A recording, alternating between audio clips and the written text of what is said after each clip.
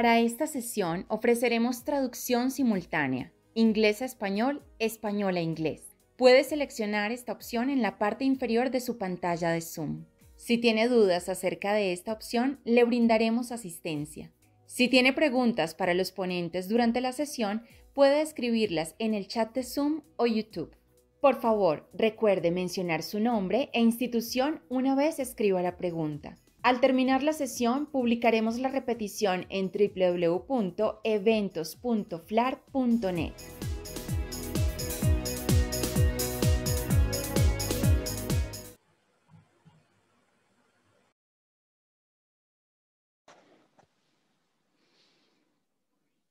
Buenos días. Hola, soy Iker Subizarreta, director financiero de FLAR, el Fondo Latinoamericano de Reservas. Bienvenidos a la primera edición o el primer episodio de nuestras Cartagena Talks 2021 parece un poco mejor respecto a lo que hemos vivido en 2020. Sin embargo, todavía tenemos que mantener cierta paciencia porque la situación sigue siendo sensible. Mientras tanto, continuamos aprovechando las herramientas del teletrabajo que descubrimos el año pasado para poder mantenernos lo más eh, sanos y salvos posibles. La crisis damos inicio a este espacio que ha sido creado especialmente para promover la colaboración y la comunicación abierta entre las instituciones oficiales de toda la región. Una vez más, estamos muy agradecidos con todos ustedes por dedicar tiempo para acompañarnos una vez más. Esperamos entonces que todos estén sanos y salvos y mm, con el espíritu siempre alto, tanto en la vida personal como profesional, teniendo en cuenta que Estamos viviendo una situación geopolítica, económica y social muy delicados. Estamos mm, viendo, sin embargo, un poco de luz al final del túnel. Hoy tenemos un destacado ponente quien nos acompaña, Andy Blocker. Sé que Andy, confío en que compartirá con nosotros su perspectiva para entender la situación actual. Todos los días parecen que las cosas debajo de nuestros pies se mueven. Andy Blocker es jefe responsable de asuntos gubernamentales de Estados Unidos en IBESCO. En esta función impulsa eh, iniciativas em, legislativas y de defensa regulatoria en IBESCO, trabajando con los responsables de formular políticas y trabaja además con clientes y líderes de opinión en desarrollo de políticas públicas y busca maximizar la huella política de la empresa. Además, eh, trabajó como mm, vicepresidente de políticas públicas y de defensa en la Asociación de la Industria de Valores y Mercados Financieros, SIFMA. Asimismo, eh, trabajó en la Oficina de Políticas Públicas de Estados Unidos de Y también fue vicepresidente em, de Relaciones Gubernamentales en la Bolsa de Nueva York y director general de Asuntos Internacionales y de Gobiernos para American Airlines. Asimismo, se desempeñó como asistente presidencial especial de la Casa Blanca en temas legislativos. Además, tiene un MBA en Negocio Internacional de la Universidad de Georgetown y un título en Economía de la Universidad de Harvard. Estamos encantados y muy agradecidos por em, contar con Andy quien nos acompaña en esta iniciativa para continuar manteniendo una colaboración abierta en toda la región, en América Latina. Así que, sin mayor dilación, le paso la palabra a Andy. Una vez más, Andy, muchas gracias por acompañarnos en el día de hoy. La palabra es suya. Muchas gracias, Iker, por esta amable presentación y voy a comenzar por mostrar mi diapositiva de, la presentación, aunque no toda la presentación será una presentación en PowerPoint. Si me funcionan mis habilidades técnicas, la mostraré en pantalla en un momento. Muy bien. Vamos a comenzar a partir de aquí. Fantástico. Bien, Vamos a hablar sobre mm, la situación de la que venimos y hacia dónde nos dirigimos. Y quisiera comenzar eh, hablando sobre qué ocurrió con la nueva administración de Biden, qué ha ocurrido con Trump, Obama, Bush y Clinton. Vemos que la situación se ha normalizado, tenemos una especie de luna de miel donde la gente le está dando a Biden un voto de confianza. En el caso de Obama y de Bush, esa situación fue inferior vemos cuál es la posición de la gente después de las elecciones. Hay muchos seguidores de Trump quienes creen que el presidente Biden no es el presidente legítimo del país, pero a pesar de esto, y voy a hablar de ello más tarde, las propuestas de Biden siguen siendo bastante bien acogidas, más allá de cuál es su índice de popularidad en este momento. Vamos a ver qué es lo que ha ocurrido. A puesto eh, ya en marcha una serie de medidas, por ejemplo, en relación con la lucha contra el COVID-19, eh, también con respecto al clima, la inmigración, etcétera. Así que hemos destacado en color rojo aquellos eh, temas que son lo opuesto a lo que hizo Trump por ejemplo, mm, se produjeron algunos cambios en cuanto a políticas eh, de inmigración, también en cuanto al clima. También eh, preservó y fortificó el DACA. Eh, es decir, revirtió muchas medidas que fueron adoptadas en su momento por Trump. Ahora bien, en el futuro hablaremos cada vez menos de la agenda de Trump y cada vez más de la agenda de Biden la mayor parte de la agenda de Biden eh, hoy tienen que ver con los temas relacionados con el COVID-19, porque el COVID-19 y la economía fueron temas prioritarios en su campaña política y el presidente Biden se va a centrar principalmente en esos temas. Esos son los temas por los cuales resultó electo y son los motivos por los cuales eventualmente podría ser reelegido presidente si se presentara nuevamente como candidato. Entonces tenemos los... Mm, la respuesta en cuanto al COVID, el mandato sobre el uso obligatorio de mascarillas a nivel federal, entre otras medidas. Si analizamos eh, estas medidas, digamos que la mayor parte son más popular que mm, menos populares, como por ejemplo, se ha mm, detenido o se han impuesto medidas para evitar los desahucios, moratorias en cuanto a pagos, la gente realmente quiere eh, vencer el virus, el COVID-19. Pero cuando hablamos de otros temas como inmigración, estas medidas resultan un poco menos populares. Eh, hay mm, más gente que las apoya respecto a aquellos que no las apoyan, pero al mismo tiempo hay algunas de estas medidas que no son muy populares, como por ejemplo el tema de los campos de refugiados, el año, mm, por ejemplo, el aumento eh, de los refugiados a 110 mil en el próximo ejercicio. Mucha gente no apoya esta medida, un 45%. Eh, es decir, hay algunas medidas que no son tan populares como, por ejemplo, aquellas relacionadas con el COVID-19. ¿Qué, nos sorprende de todo esto? Bueno, por ejemplo, que va a revocar el permiso eh, relacionado con el Keystone XL Pipeline. Por ejemplo, mm, algunos sindicatos están diciendo que, bueno, esto está costando puestos de trabajo o empleos, pero bueno, definitivamente mm, esto, tiene algo que ver también con la posición de la comunidad en medio eh, ambiental. Y bueno, ya ha dejado claro qué quiere hacer en este sentido. Si pasamos ahora a qué ocurrió con la proporción del 50-50 en el Senado, bueno, se logró superar el empate. Ahora tenemos un control demócrata en la Casa, eh, perdón, en el Senado, así como también en la Cámara de Representantes, con mayorías en ambas cámaras. ¿Qué puede ocurrir en ese entorno? Bueno, como he dicho al comienzo, lo más importante es eh, el COVID-19 y la economía, pero sobre todo el alivio respecto al COVID-19. Esto tiene distintas interpretaciones. Cuando hablamos del alivio, en este sentido nos referimos al paquete aprobado por el Congreso en 1.300 eh, billones de dólares.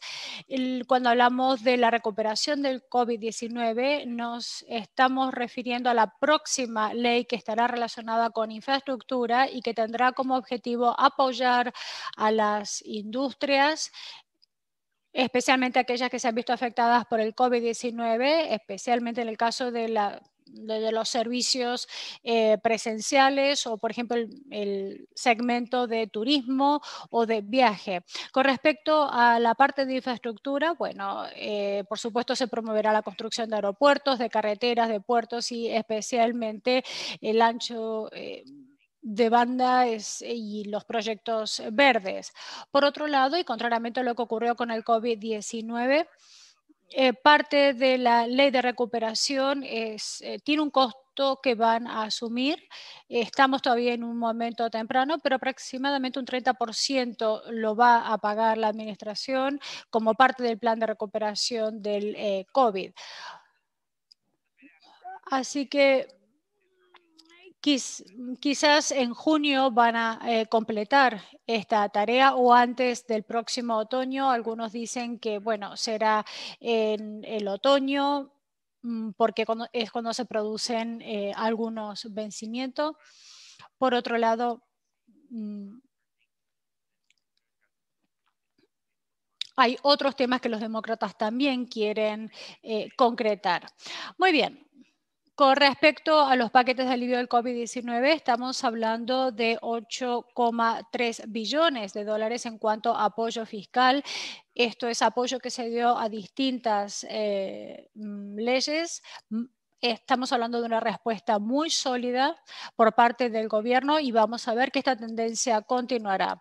Y esto es simplemente, bueno, una mm, idea eh, general de este plan de rescate de Estados Unidos.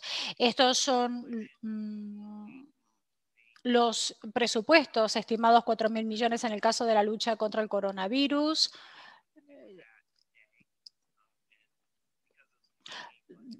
Como consecuencia de algunas reglas en cuanto a presupuesto. Básicamente, si estamos hablando de más de 11 dólares, entonces esto va a generar un determinado nivel de presupuesto. Si estamos hablando de menos de 11, no será así. Por lo tanto, eh, es una ventana de 10 años la que se está teniendo en cuenta en este sentido. Y luego tenemos eh, bueno, otras medidas relacionadas con el coronavirus, por ejemplo, para ayudar a las escuelas a que funcionen o se puedan abrir de manera segura, la administración de la vacuna, etcétera. Y luego también tenemos el apoyo de los gobiernos locales en este sentido. Todo esto es una parte fundamental de, esta, de este proyecto de ley de la administración Biden. Bien, ya he hablado sobre el proyecto de ley sobre infraestructura. Se supone que va a superar el billón de dólares. Algunos dicen que será entre 3 y 4 eh, billones. En la Cámara de Representantes eh, van a seguir impulsando un proyecto de ley que ya se elaboró el año pasado por valor de 1,5 billones. Bueno, estos son más o menos las apuestas. Ahora, si esto se hace eh, sin lograr eh, un acuerdo en cuanto a los votos, estaremos hablando de más o menos unos 1,5 billones. Esta mm, cifra lo podemos ver en la parte superior. Así que estamos hablando de, plan, de cuáles son los planes a largo plazo. Y he mencionado también que la parte fiscal o los impuestos formarán parte de esto. Eh, habrá un aumento en el impuesto a las empresas en el caso de la administración de Trump se produjo una reducción de eh, un 15%, pasando de 35 a 21% el impuesto a las eh, sociedades. En el caso de Biden dice que bueno, volverá esa tasa al 28%. Algunos republicanos dicen que tendría que ser solo 25-26%. Bueno, pero para poder recaudar eh, fondos mm, se supone que tendrán que manejarse dentro de estas tasas y el mínimo tendrá que ser un 15%. Estamos hablando de un, sin, eh, sin, importar el nivel de ingresos, habrá que pagar este, este, este, porcentaje mínimo para poder contribuir con la recuperación y por lo tanto se necesitará una, aplicar un impuesto del 15% como mínimo. Eh, quieren comenzar entonces aumentando la tasa de impuestos a las ganancias un 39,6% para aquellos que ganan más de un millón de dólares. Ese sería el punto de partido, eliminando las tasas preferenciales para, eh, bueno, plusvalías. En el caso del reemplazar eh, los impuestos que se aplican a las aportaciones de los empleados, supuestamente esto también se retrasaría, así que están buscando la manera de producir un impacto en esto y en ese caso lo incluirían como parte del programa, pero eso todavía está pendiente de verse. Bien, hablemos ahora de la política monetaria, de la situación eh, monetaria. En primer lugar, eh, la velocidad y el tamaño de la respuesta que está dando Estados Unidos en cuanto a la política fiscal y monetaria. Creo que ha sido enorme si, tenemos en, si tenemos en cuenta la crisis financiera 2008-2009. Así que mientras avanzamos hacia la siguiente fase, hay mucha preocupación sobre la inflación y, por ejemplo, Jerome Powell y Janet Yellen y otros mm, colegas de la Fed coinciden en este sentido. Eh, por ejemplo, Jerome dice que habrá que bueno, Janet dice que es el momento para ser valientes. Jerome Powell a su vez dice que incluso si las cosas van muy bien, se logra eh, una buena administración de la vacuna. Eh, creo que la palabra clave aquí es que mm, será algo transitorio y si la inflación es transitoria o no, bueno, tendremos que mm, estar de acuerdo o no con eso. Eh, esto significa que en el largo plazo la política será más acomodaticia. Aquí podemos ver qué ha estado ocurriendo con el balance de la Fed. No vemos mm, o no preveo ningún cambio fundamental en el corto plazo y seguramente continuará la política como eh, se ha estado aplicando hasta ahora. Si analizamos los instrumentos de préstamos de la Reserva Federal, eh, como pueden ver debajo de la línea, a partir del 31 de diciembre de 2020 tenemos una serie de vencimientos. Eh, no habrá más dinero asignado a, estas, eh, a estos instrumentos hasta el 31 de marzo de este año. Así que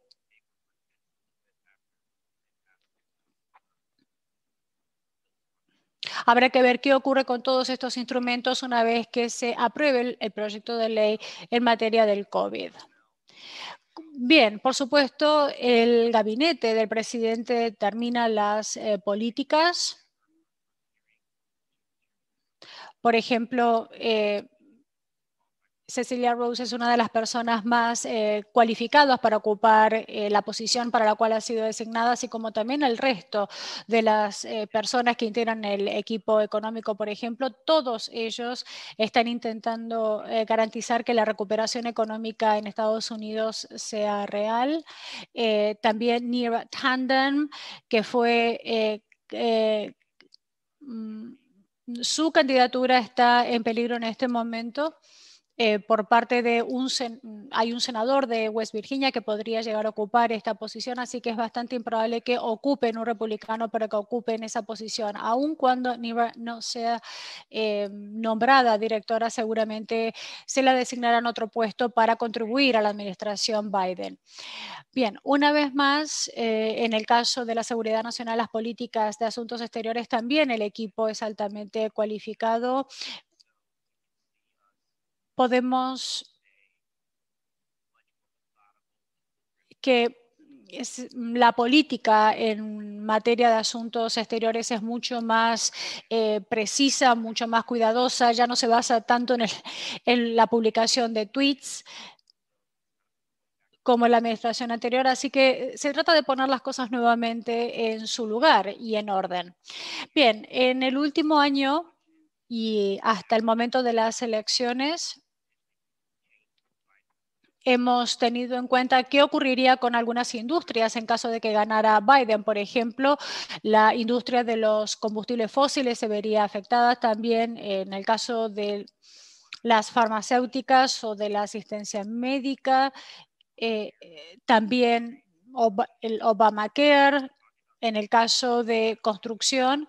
Bueno, todavía no, hemos llegado al punto previsto en este sentido, pero seguramente este año mm, se recuperará un poco la industria de la construcción, quizás no tanto como la gente tenía previsto, pero seguramente la construcción va a inyectar dinero en la economía. Y con respecto a la eh, tecnología, hay algunos a la derecha que, bueno, dicen que en las no se, está controlando demasiado, la izquierda dicen que no se está controlando lo suficiente. Creo que existen una serie eh, de posibles litigios que van a presentar los fiscales generales como consecuencia de esto. Así que eh, finalmente he hablado a sanciones, eh, comercio exterior. Bueno, la situación es un poco volátil porque ah, como sabemos, Trump se manejaba principalmente con tweets, no sabíamos cómo reaccionaría el mercado en esas eh, situaciones, um, no se sabía muy bien qué iba a implementar, a veces era simplemente una falsa alarma. Eh, ahora el, el enfoque no será un enfoque tan deliberado, sino las cosas van a volver a su orden eh, natural eh, con Biden y será mm, más previsible, se sabrá en qué dirección van las medidas.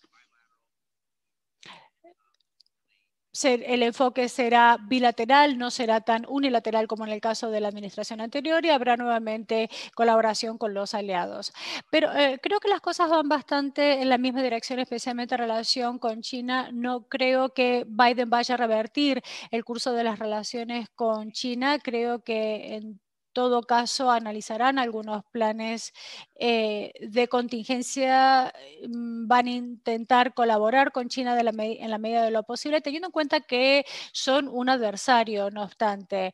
No creemos que los aranceles se vayan a levantar en un futuro inmediato. La administración de Biden dice, bueno, eh, si eliminamos eh, los eh, aranceles, eh, bueno, eso como no se sabe qué efecto puede producir, no lo van a hacer de momento. Luego tenemos Taiwán, tenemos otros temas también relacionados con Asia y hay otros aspectos en los que no nos no nos centramos tanto durante la administración de Trump, como por ejemplo la relación con eh, los temas relacionados con derechos humanos en Hong Kong.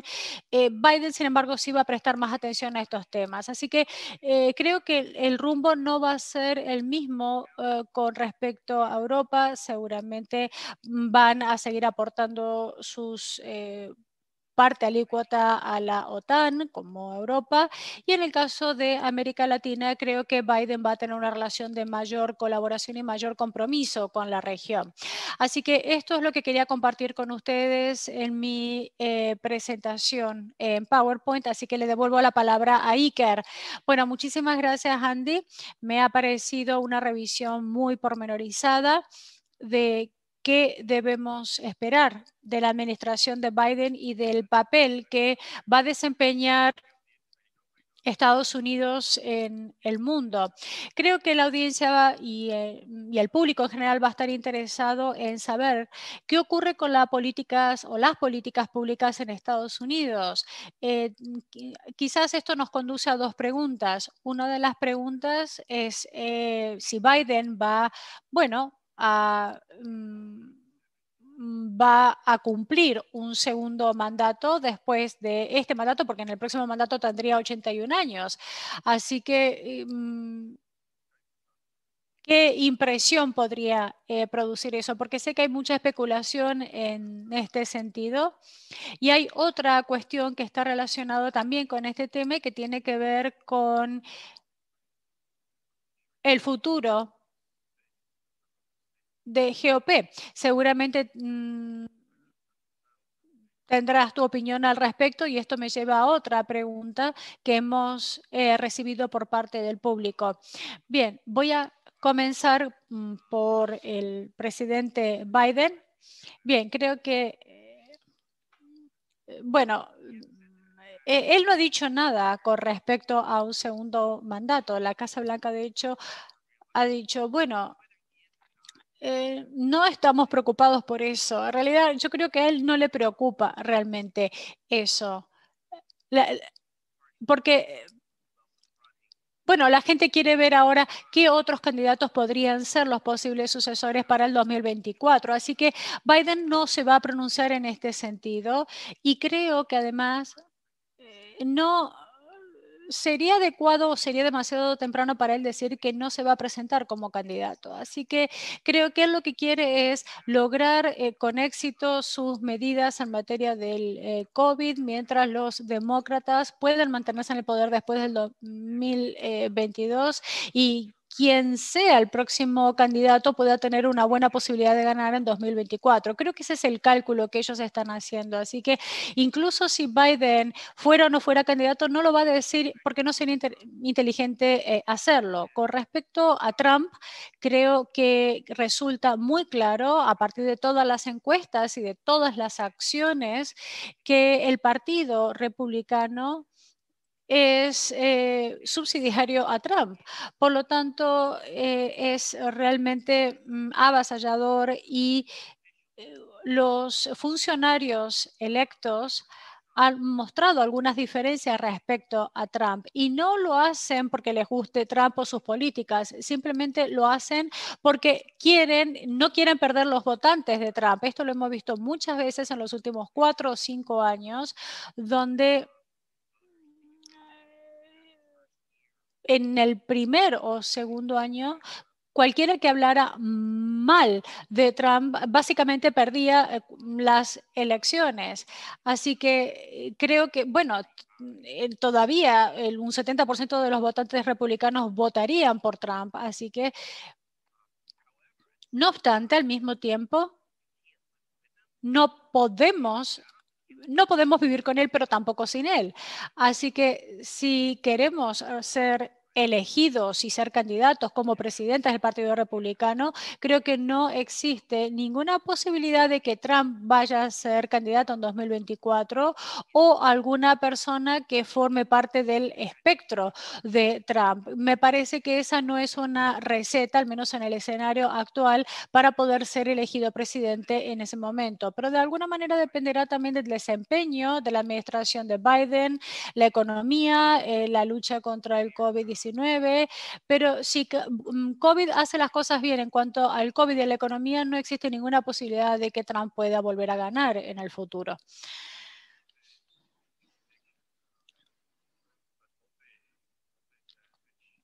Teniendo en cuenta todo el daño producido por Trump al eh, considerar que las elecciones eran eh, ilegítimas. Eh, ese daño es un daño permanente ha quedado presente o en algún momento se va a superar ese daño que se produjo? Bueno, es una excelente pregunta. Creo que es muy temprano todavía para dar una respuesta. Posiblemente este sea el mayor daño que se haya podido ocasionar es decir, el hecho de que la gente pensara que el presidente electo no fuera legítimamente, eh, no hubiera sido legítimamente elegido. La diferencia es que los candidatos en otras ocasiones y el presidente saliente eh, consideraban y reconocían al presidente entrante. Es decir, los líderes de la oposición decían, bueno, sí, muy bien, esta persona es el nuevo presidente. Es decir, no añadían... Em, no agravaban la situación, no añadían leña al fuego. buscaban formas, claro, de no apoyarlo, pero nunca eh, tuvimos anteriormente una situación donde el presidente de Estados Unidos siguiera mm, siendo presidente y se negara incluso hasta el día de hoy, a admitir que el presidente Biden es el presidente legítimamente electo. Así que si tenemos esto en cuenta como escenario, podría ser un escenario que se prolongue y podría ser un problema, pero creo que va a ser un problema sobre todo para el Partido Republicano, porque si ahora tenemos en cuenta eh, por ejemplo, la tasa de aprobación en cuanto a las medidas del COVID supera el 70%, incluso el 60% de los republicanos están de acuerdo con este proyecto de ley, hay otro 30% que se...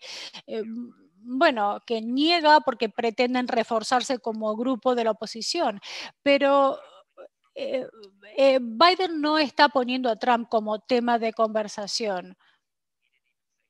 Ni siquiera pronuncia su nombre. Bueno, creo que lo hizo solamente una vez, pero realmente no quiere hablar sobre él. Él está haciendo todo lo posible para avanzar. Creo que eh, a, la postre va a ganar, pero el Partido Republicano se producirá una especie de guerra civil para decidir si mantienen a Trump entre sus filas o no.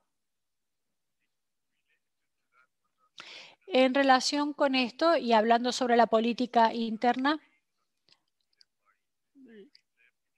si hablamos de la izquierda, eh, de la ultraizquierda o los demócratas más demócratas progresistas o la ultraderecha dentro de el Partido Republicano,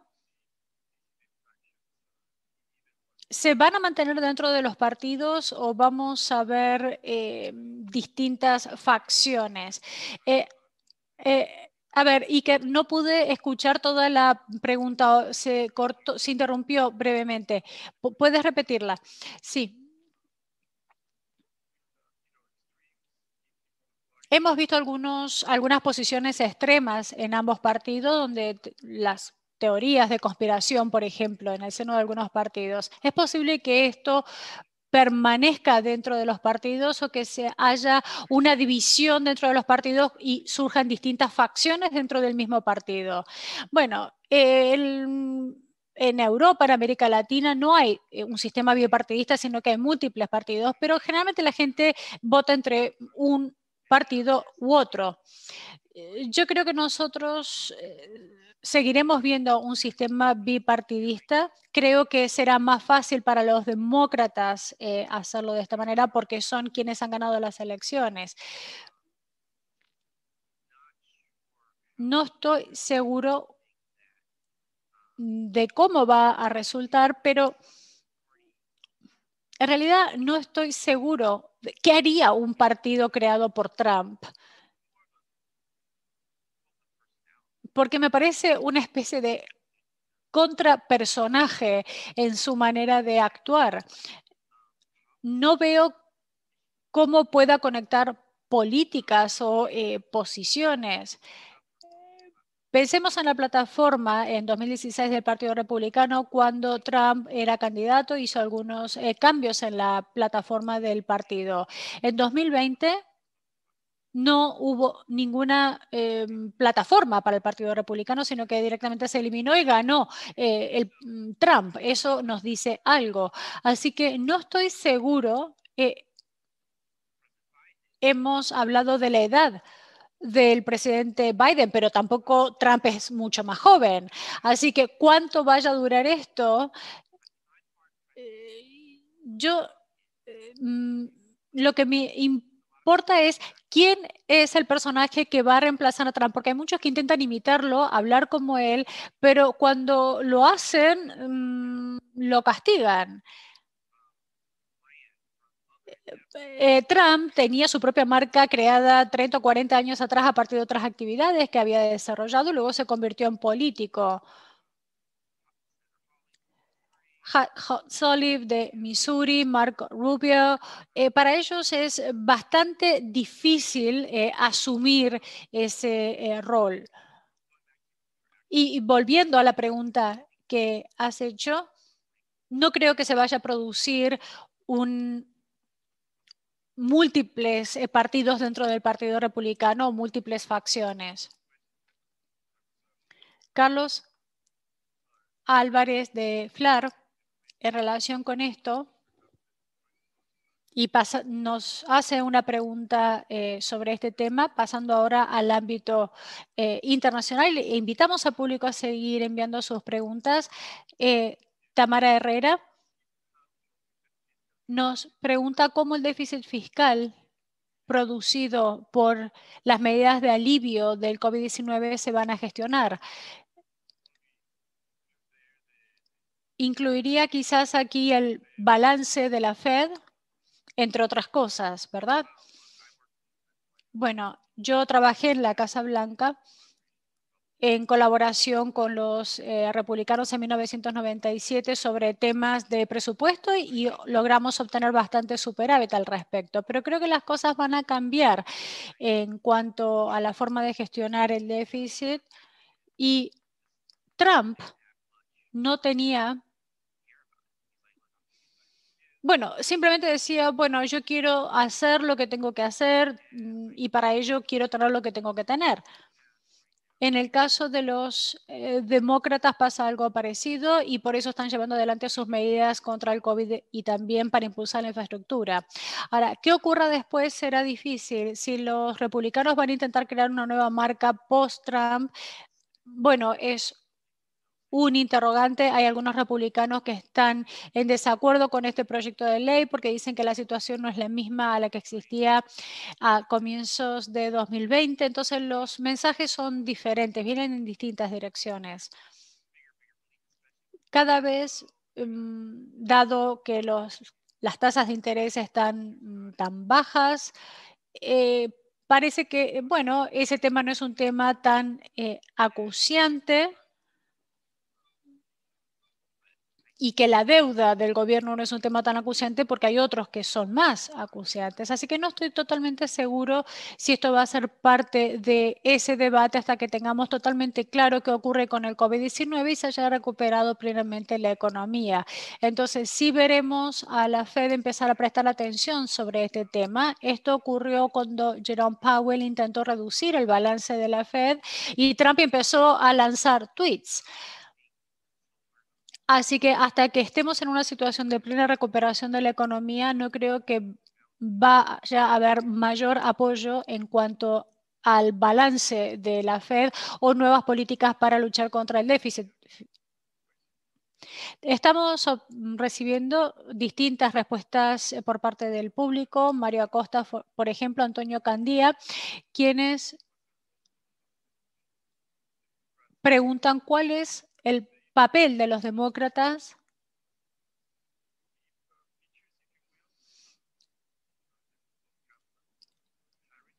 eh, y la función de Kamala Harris en el futuro.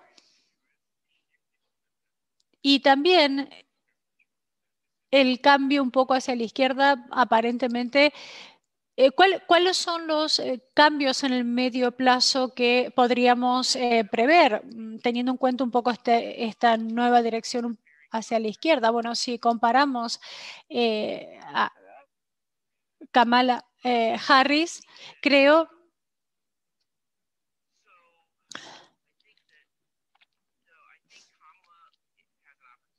que Kamala tiene la posibilidad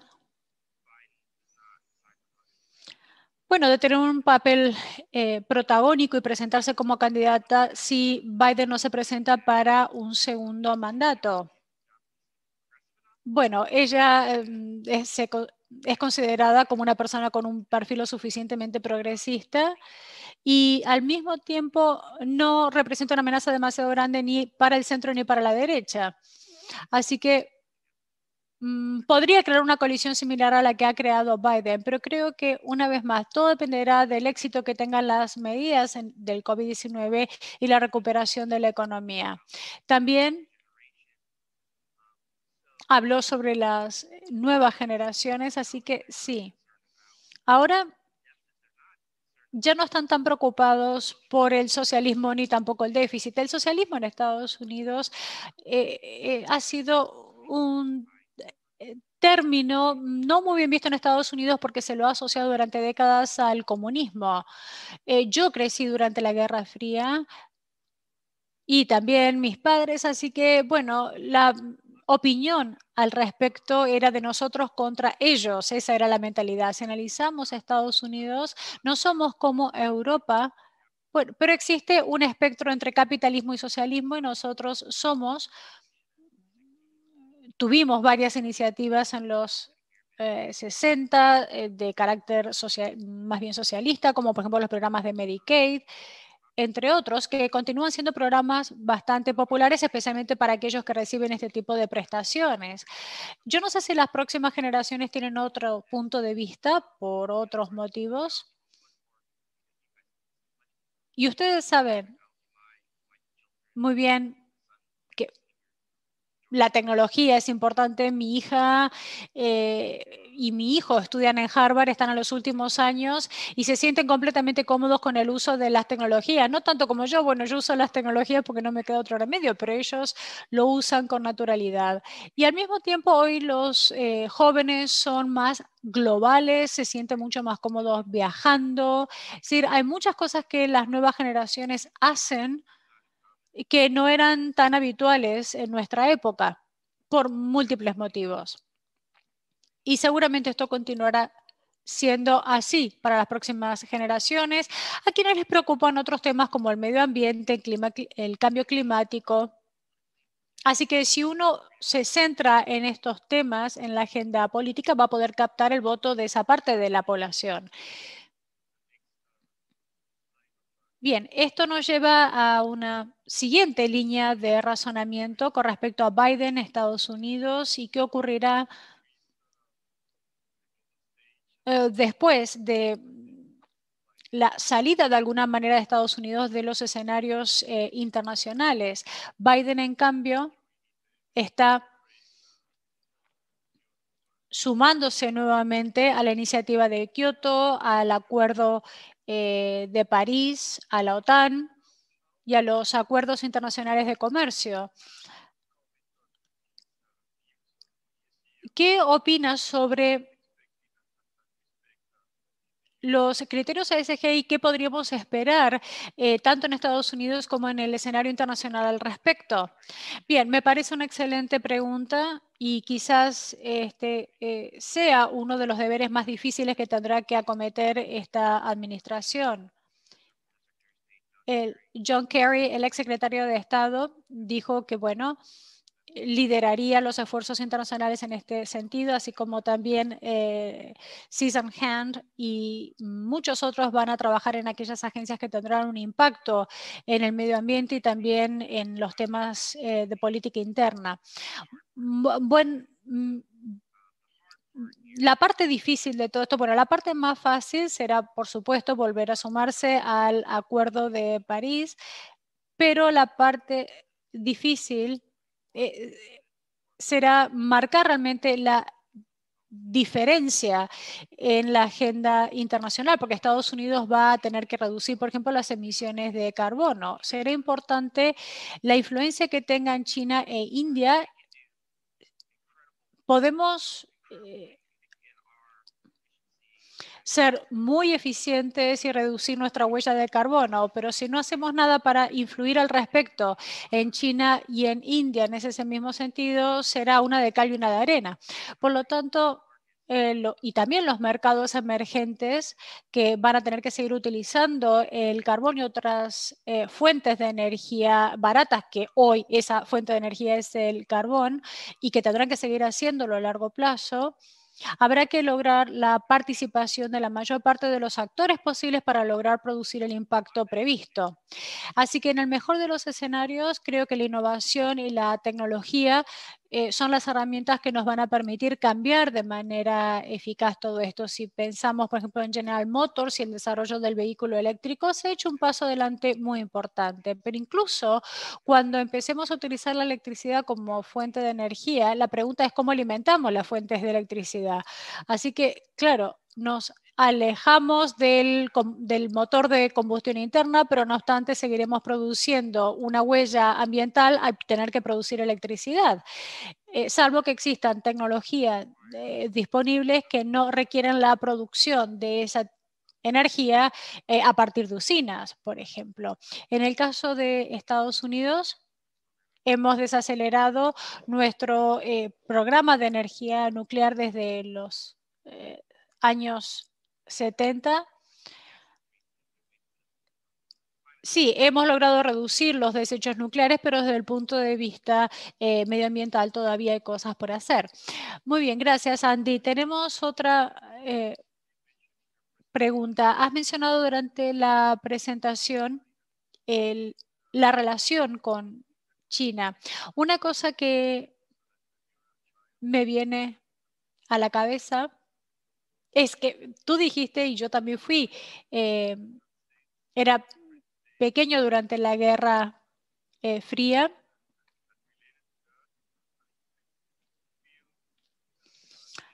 Tengo la sensación de que existe cierta confusión en el planeta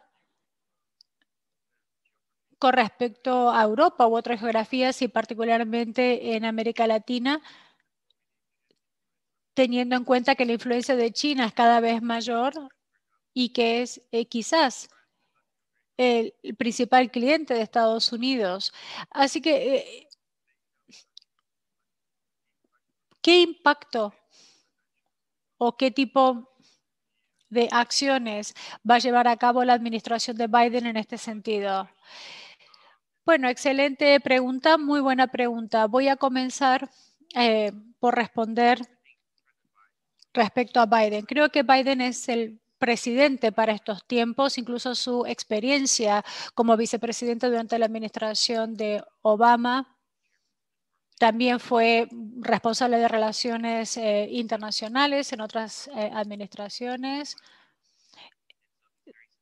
También fue enviado especial del gobierno en América Latina. Así que me parece la persona idónea eh, en este momento. Creo que con respecto al lugar que ocupa Estados Unidos en el mundo,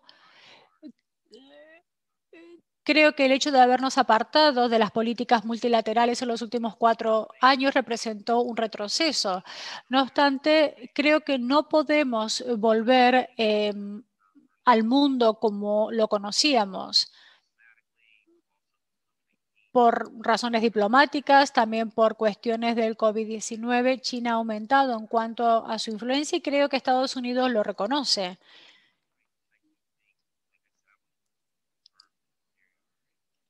Y dejando de lado la Guerra eh, Fría, no mm, quiero decir tampoco que sean competidores o adversarios en este sentido. Así que, eh, pero no obstante, tenemos que competir con, eh, con ellos. Y, la, y una de, uno de esos lugares es América Latina. por ejemplo, la mm, energía eólica, eso es, una, es algo que les ocupa. Vamos a tener que seguir mm, peleando con ellos en esta región y si tenemos en cuenta que ha hecho Biden, por ejemplo, al preparar su primera, su primer proyecto de ley para la inmigración por 4 mil millones eh, de dólares, aumentando además la asistencia a Salvador, Guatemala, Honduras, etcétera. Definitivamente hay medidas que ha llevado a cabo, más allá del COVID-19, eh, quizás no sean una ayuda económica muy importante, pero sí mm, será una ayuda, por ejemplo, para distribuir las vacunas. Y la región de América Latina es, eh, socio eh, para Estados Unidos. Por lo tanto, mm, tenemos competencia, por ejemplo, en cuanto a energía solar mm, por parte de China, pero creo que a largo plazo vamos a ganar esa competencia. Bueno, no sé, si he respondido a todas las preguntas, he hecho todo lo posible por responder. Sí, eh, profundicemos un poco ahora eh, en este sentido. Eh, Trump intentó presentar a Biden como una persona frágil y débil. Desde afuera vemos que China, sin embargo, es un país que se presenta cada vez con más eh, coraje, Corea del Norte, Rusia por otro lado, actúan lanzando fake news y haciendo todo tipo de eh, sabotaje em, contra Estados Unidos. ¿Cómo mm, crees que Biden va a afrontar esto o qué tipo de estilo o políticas va a llevar a cabo para intentar mm, marcar una diferencia también su posición en el medio, en Medio Oriente desde un punto de vista de asuntos internacionales. ¿Qué deberíamos esperar de la administración de Biden? Bueno, creo que ya se está centrando en crear o recuperar alianzas con sus aliados más eh, tradicionales como el G7. Eh, durante la última conferencia ha dado un, discurso muy contundente diciendo que Estados Unidos había eh, vuelto y que, bueno, por supuesto, Estados Unidos no es el único responsable de la seguridad internacional. Estados Unidos también dice nosotros necesitamos, queremos eh, aliados, pero queremos, y queremos opciones eh, y queremos un poco de redundancia. Eh, no queremos un socio militar u otro, sino que queremos colaboración. Así que creo, y vuelvo una vez más al tema, de la recuperación o la respuesta en la recuperación del COVID-19, porque creo que esto va a tener un impacto en la capacidad de Estados Unidos en ejercer influencia en el mundo. Si no lo hacemos adecuadamente, si no volvemos a ordenar la economía, esto será un obstáculo. Por lo tanto, eh, con respecto eh, a China, como he dicho anteriormente, creo que hay algunas áreas donde podemos colaborar con ellos, por ejemplo, en materia de cambio climático y la colaboración en la lucha contra el COVID-19 y futuras pandemias. En cuanto a mm, comercio también, pero me parece que esos son dos temas en los que podemos colaborar ahora. Con respecto a Oriente Medio, creo que sí, vamos a trabajar con Irán para ver eh, qué ocurre con, eh, bueno, el GSPO eh, Mm, durante la época de Trump, pero creemos que eh, cuando hablamos de mm, Oriente Medio existe cierta sensación de eh, fatiga al respecto. Creo que no será nuestro mm, lugar de prioridad número uno. Creo que América Latina va a ocupar una posición de prioridad mucho mayor en los temas del gobierno. A ver, ¿cómo, cómo lo digo? A pesar de que Trump no tuvo mucho éxito, a pesar de que puso en marcha fórmulas nuevas, creo que, bueno, al final se sabe que Irán tiene armas nucleares y que en el momento en el que empiezan a hacer pruebas con sus capacidades de armas nucleares, esto va a volver a disparar todas las alarmas. Así que eh, me parece que esto es como una especie de comodín.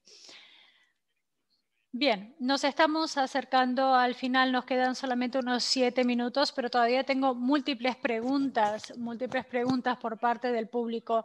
Así que voy a intentar eh, aunar todas esas preguntas, resumiendo todas las preguntas de la audiencia.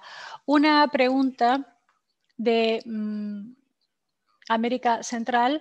Biden dijo que veía se iba a centrar también en América Central y dijo que quizás sería más eficaz crear una relación de colaboración que construir un muro, como opinaba Trump. ¿Hay ganadores y perdedores? ¿O habrá ganadores y perdedores? Eh, como ocurrió, por ejemplo, en China o como ha sido en Asia, mientras que en el resto del mundo, especialmente en Europa y en Estados Unidos y desde luego en América Latina y en África, eh, esto sigue causando estragos. Así que eh, Podemos decir que hay algunos eh, ganadores en esta lucha contra el COVID-19. Hay otros países que están en una posición más eh, débil. ¿Qué opinión tiene al respecto? Bien, creo que para América Latina esto representa una oportunidad respecto a Estados Unidos y Biden, dado su conocimiento y relación con la región, ya he hablado sobre su proyecto de ley en materia de inmigración, creo que esto ofrece una oportunidad para ver cuáles son los intereses comunes que existen entre Estados Unidos y el resto de la región. En mi opinión, bien, no voy a decir que el resto de la región o la forma en la que el resto de la región pueda afectar a Estados Unidos quizá no sea tan importante, pero sí lo es en el, en el fondo. Entonces, puede producir, por ejemplo, eh, la inestabilidad política en la región puede afectar a Estados Unidos. Entonces, ahora que Biden es presidente y el hecho de que Estados Unidos se está moviendo hacia la diversificación de las cadenas de eh, aprovisionamiento y mm, volver a una política multilateral, teniendo tantos aliados como sea posible, creo que América Latina parece el lugar adecuado para desarrollar todo esto. Lo que resulta clave es cómo nos posicionamos y cómo eh, Biden eh, aborda a la región. Dado que eh, China está intentando hacer múltiples inversiones en la región. Estados Unidos está utilizando, por ejemplo, eh, la energía eh, solar como elemento para competir. Mm, China tiene el Banco Asiático de Desarrollo, pero Estados Unidos también tiene sus propias instituciones para contrarrestar las inversiones chinas. Así que si la gente eh, está compitiendo por la atención de la región o si los países están compitiendo por esa atención me parece positivo, pero bueno, habrá que ser cuidadoso. Eh, por supuesto, mejor que confíen en nosotros a largo plazo, este es un aviso comercial, pero si hablamos ahora del COVID-19, creo que China es el claro ganador aquí, no hay otra manera de decirlo. Si pensamos al respecto, China ha acelerado todo el proceso para convertirse en la economía más grande del mundo porque se recuperaron más rápidamente de la pandemia, eh, pero seguramente esta no será la última pandemia que experimentemos. Entonces, eh, por eso digo que es muy importante y, por eso estoy contento de que el presidente está tan centrado en la recuperación del COVID-19, porque si el, el gobierno eh, federal y la ciencia trabajan para permitir esa recuperación, pondremos las cosas nuevamente en marcha y eso nos permitirá recuperar la confianza de los eh, aliados y la próxima vez que ocurra algo no se nos eh, dejará de lado, sino que seguiremos estando comprometidos, trabajando mano a mano con nuestros aliados. Eh, mm, básicamente estaremos trabajando en colaboración con quienes lo hacen mejor, en este caso China, que fue el país que lo hizo mejor. Así que yo no, no dejaría de lado a Estados Unidos para nada. Muy bien, una perspectiva muy interesante, Andy. Nos queda tiempo para una pregunta más. La pregunta es de Andrés Cabrales, del Banco Central de Colombia. La pregunta es, ¿cómo el las elecciones de 2022 mm, afectar la agenda de Biden en caso de no eh, ganar y qué pasaría o qué políticas habría que adoptar para evitar eh, cualquier eh, riesgo. Bien, creo que ha respondido la pregunta con la propia pregunta. Sin duda, Biden va a intentar hacer todo lo que puede, no solamente durante su primer periodo de mandato, sino en el primer año.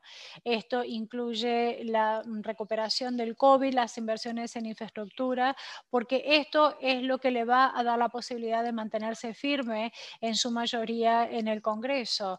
Eh, tener una proporción del 50 50-50 en el Senado, creo que no ha habido ningún momento en la historia moderna donde hayamos eh, tenido todos los niveles eh, gubernamentales, a menos en el siglo XXI, donde se haya podido mantener la mayoría en la Cámara de Representantes. Así que, eh, bueno, podríamos suponer que se podría perder esa mayoría, así que van a intentar hacer todo lo que pueden por cumplir y harán todo lo posible para ser reelegidos.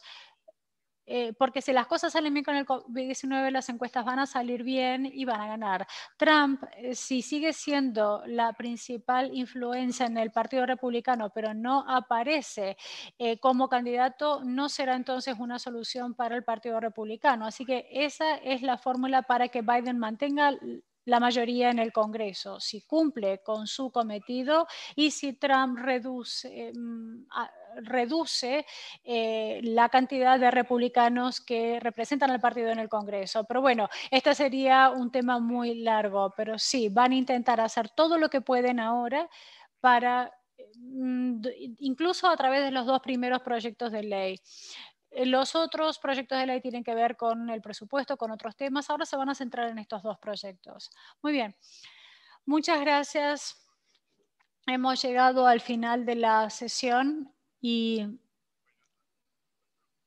me quedan muchas otras preguntas, pero tengo que eh, cerrar. Andy, ha sido una sesión realmente maravillosa. Ah, mm, estamos viviendo momentos que plantean múltiples retos, pero existen incertidumbre, pero también existen oportunidades, como lo ha señalado eh, hoy. Así que una vez más, en representación de FLAR y en el mío personal, quisiera expresarte nuestro más profundo agradecimiento eh, hoy, Andy Blocker, de Invesco por habernos acompañado y estoy seguro que todas estas reflexiones van a añadir, eh, mm, bueno, mm, valor para las inversiones que acometan nuestras instituciones. Quisiera agradecer también a todos los miembros del público que nos han acompañado una vez más en el día de hoy. Estamos preparando otras sesiones también muy interesantes eh, para esta mm, temporada de las Cartagena Talks y esperamos que puedan acompañarnos una vez más. Hasta entonces, eh, hasta la vista espero que sigan eh, todos sanos y salvos. Muchas gracias, Andy.